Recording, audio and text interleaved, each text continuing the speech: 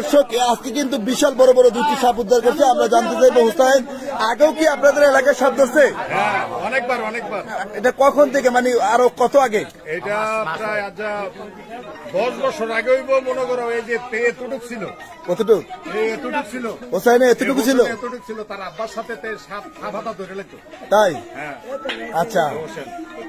এতটুকু একটা বাচ্চা ছেলে সাপ ধরে ফেলতো তেমন একটা ভয় লাগতো না আপনাদের? মানে কেমন একটা ভয় লাগছে কিন্তু তাতে ভয় লাগে না নাকি?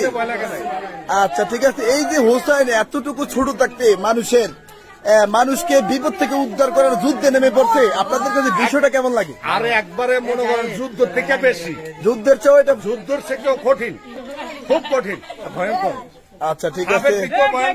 হোসেন তাই নাকি? এই যে আপনাদের এই প্রশংসা আমি মনে করি আপনাদের এই সাক্ষ্যগুলান আল্লাহ তালা দেখতেছে। হ্যাঁ, আল্লাহ তালা অবশ্যই হোসাইনকে আমরা একজন হোসেন যাতে আরও বড় হয়। আরও বড় হয় নাকি? হোসাইন ইতিহাস সাক্ষী আজকে বিশাল বিশাল দুইটা সাপ কিন্তু এটার ভিতরে বন্দী করছ। অনেক পরিশ্রম করে পাঁচ ছয় ঘণ্টার পরিশ্রমের ফলে আর এই যে আজকে রিয়েল হিরো এই যে এই ভাই কিনা নাম? সজল। এই যে সুজন দুই ভাই নাকি? সজল সুজন দুই ভাই আর আমাদের বড় হিরো এই যে অলি ভাই। অলি ভাই আর হচ্ছে হ্যাঁ, ভাই রবিন ভাই নাকি? রবিন ভাই কিন্তু ফোন দিচ্ছে আর হোসাইন।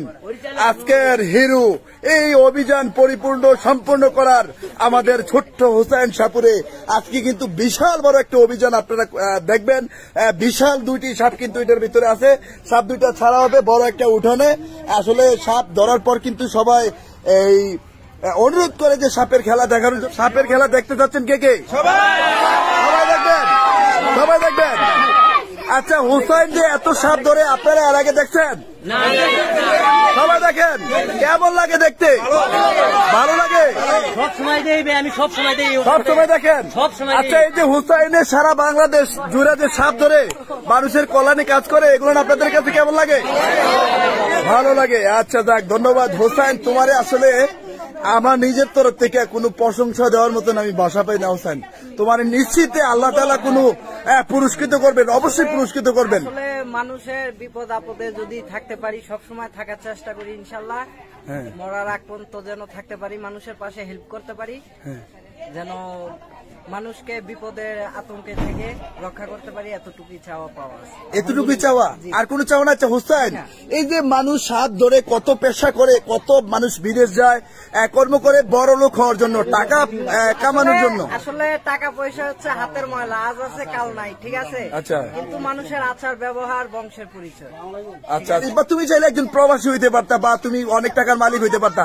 এই পেশাটা কেন বাইসা নিলা? আসলে এই পেশাটা বেছে নিয়েছি আমার বাবার সাথে যাইতে যাইতে এই আচ্ছা। পেশার কাছে আমি জড়িত হয়েছি এক নম্বরে হ্যাঁ। আমার বাবা হচ্ছে এটার গুরু ঠিক আচ্ছা। আছে সাপ ধরার গুরু হচ্ছে আমার বাবা আচ্ছা। আর আমার বাবার কাছ থেকেই সাপের যত তথ্য মথ্য যা আছে হ্যাঁ। সবকিছু আমার বাবা শিখাইছে ঠিক আছে আচ্ছা আরেকটা প্রশ্ন করি এটা হচ্ছে তোমার চাচা আপন চাচা কালাচান সাপুরে মারা গেছে তোমার বংশের চার পাঁচজন লোক মারা গেছে এরপরেও কেন তোমার আব্বা আম্মা তোমাকে এই পেশা থেকে মানে বারণ করলেন না আসলে এই পেশা থেকে হায়াত মত হচ্ছে আল্লাহর হাত ঠিক আছে আচ্ছা। যদি আমার মৃত্যু এটার হাতে লেখা থাকে তো এইভাবে যাব ঠিক আছে হায়াত মুহূর্তের আচ্ছা ঠিক আছে। এই যে কালাচান সাপুরে বিশাল বড় একটি সাপের অভিযানে তিনি গিয়ে সাপেরই কামড়ে মারা গেল। তার কে কে আছে? তার পরবর্তী মানে পরবর্তী প্রজন্ম কে কে আছে? পরবর্তী প্রজন্ম আমার চাস্তো ভাই আছে কিন্তু চাস্তো ভাই তিনজন আছে তিনজন থেকে একজন এই লাইনে নাই। এই লাইনে নাই নাকি? তারা তার বাবা মারা গেল যাওয়ার কারণে তার মা হয়তো নিষেধ করছে এই জন্য তারা কি এই পেশায় আর আসে নাই? তারা এখন কি করতেছে?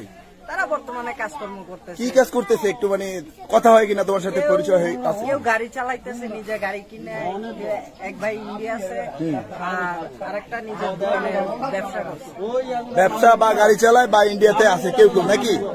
আচ্ছা ঠিক আছে। এই যে দর্শক, কত বৃদ্ধ থেকে শুরু করে যুবকের আসলে দেখেন হোসেনকে এত ভালোবাসে এত ভালোবাসে যে ভালোবাসার প্রশংসা করা- করার মতো নয়, আপনারা দেখেন।